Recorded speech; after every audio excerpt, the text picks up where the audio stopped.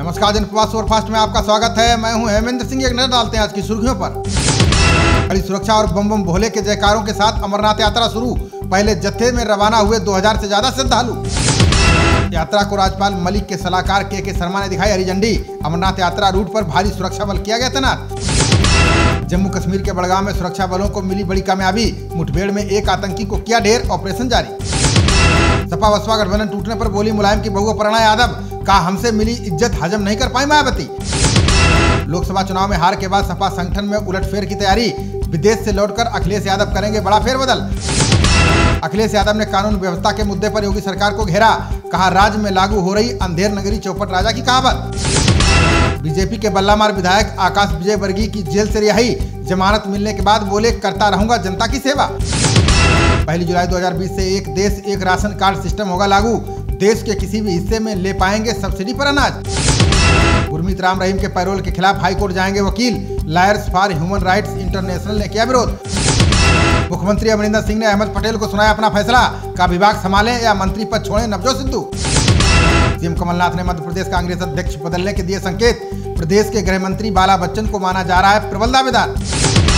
मणिपुर में अवैध फैक्ट्री से 100 करोड़ रुपए की ब्राउन शुगर बरामद। पुलिस ने एक महिला सहित तीन आरोपियों को किया गिरफ़्तार। राहुल गांधी के अध्यक्ष बने रहने के समर्थन में यूपी कांग्रेसियों का इस्तीफा। विधानमंडल की उपनेता आराधना मिश्रा समेत 35 नेताओं ने छोड़ा पद। गडकरी के सामने लोकसभा चुनाव हारने वाले नाना पटोले का बड़ा कदम। राष्ट्रीय किसान कांग्रेस के अध्यक्ष पद से दिया इस्तीफा।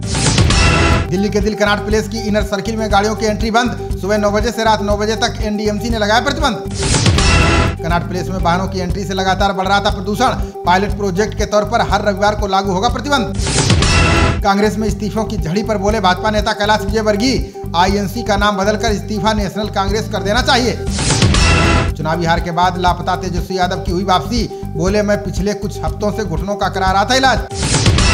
दिल्ली में लगने वाले एक दशमलव पाँच लाख कैमरों पर नीति आयोग ने उठाया सवाल। कहा चीनी कैमरों पर अमेरिका में लगाया जा चुका है प्रतिबंध। लखनऊ के जिलाधिकारी ने इमामबाड़े में प्रवेश के लिए जारी कराया ड्रेस कोड। बोले, सिर्फ़ सब कपड़ों वालों को ही मिलेगी एंट्री। भारत में बिना लाइसेंस नहीं चलेंगे फेसबुक और ट्विटर। आईटी कंपनियों के लिए कानून में बदलाव करेगी सरकार। सदस्यता अभियान के दौरान शिवराज सिंह ने लोगों को किया संबोधित। बोले, उच्च शिखर को हासिल करने के लिए जुट जाएँ पार्टी कार्यकर्ता। दिल्ली भाजपा की दो दिवसीय प्रदेश कार्यकारिणी की बैठक संपन्न। आगामी विधानसभा चुनाव को लेकर पार्टी ने बनाई रणनीति। राज्य कार्यकारिणी बैठक को जेपी नड्डा ने किया संबोधित। बोले, दिल्ली में सकारात्मक सोच रखने वाली पार्टी की सरकार ज़रूरी।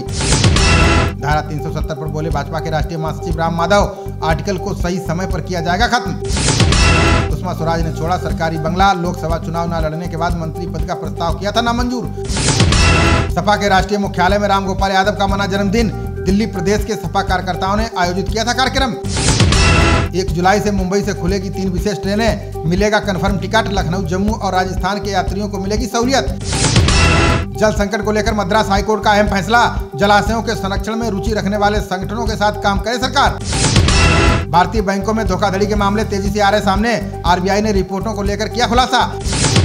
केंद्रीय मंत्री जितेंद्र सिंह ने अनुच्छेद 370 को बताया कांग्रेस की देन। बोले, नेहरू ने विपक्षी सदस्यों की आपत्तियों को किया था दरकिनार। श्रद्धालुओं के लिए जम्मू में शुरू हुई ओपन बस सेवा, सैलानियों को सुविधा देने के लिए पर्यटन विभाग ने की शुरुआत। हरियाणा के पूर्व सीएम भूपेंद्र हुड्डा ने खट्टर सरकार को बताया फेल, बोले, हरियाणा में कानून व्यवस्था के नाम की कोई चीज़ नहीं। विद्यार्थी को जाति सूचक शब्द बोलने पर लगेगा S C S T act UGC ने सभी 750 विश्वविद्यालयों और कॉलेजों को लिखा पत्र। राजस्थान के सीएम गहलोत ने बजट से पूर्व बुलाई परामर्श बैठक। प्रदेश की जनता हित से जुड़े मुद्दों पर किया गया विचार विमर्श। टीएमसी सांसद नुसरत जहाँ के मंगलसूत्र और सिंदूर पर मौलवी का फतवा, साध्वी प्राची ने कहा है कि मौलाना को अभिनेत्री के पहनावे पर है दिक्कत। जल्द सीधे गोदाम से अपनी फ़सल बेच सकेंगे किसान, मिलेगी सही कीमत। केंद्र सरकार ऑनलाइन प्लेटफॉर्म के विस्तार पर कर रही है विचार। यूपी लोक सेवा आयोग के नए अध्यक्ष होंगे प्रभात कुमार। राज्यपाल राम नाईक ने प्रस्ताव पर लगाई मुहर। सीएम जगन मोहन एक जुलाई से लगाएँगे प्रजा दरबार। अमरावती स्थित आवास में रोज़ाना एक घंटे लोगों से करेंगे मुलाकात। सुप्रीम कोर्ट में खत्म हुआ ग्रीष्म अवकाश। अब राम मंदिर और राफेल समेत कई अहम मामलों पर होगी सुनवाई। अल्पसंख्यक छात्रों को अलग सुविधा देने पर बोले कैलाश विजय वर्गीय बोले, बच्चों को धर्म की अफीम से रखें दूर। रोहतास के डेयरी में अवैध खनन रोकने गई टीम पर हमला। जान बचाकर भागे अधिकारी, पुलिस ने उपद्रवियों पर किया लाठीचार्ज। रामपुर पहुँचे आज़म खान मीडिया से हुए रूबरू। बोले, लिंचिंग की घटनाओं पर उठाना चाहते थे, सवाल नहीं मिली इजाज़त. रामपुर ज़िले के एक तालाब में पहुँचा मगरमच्छ का जोड़ा। ग्रामीणों में हड़कंप। डीएम ने दिया मगरमच्छों को पकड़ने का आश्वासन।